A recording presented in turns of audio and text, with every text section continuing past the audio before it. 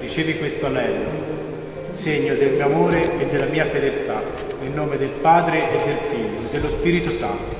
Marco, ricevi questo anello, segno del mio amore e della mia fedeltà, nel nome del Padre, del Figlio e dello Spirito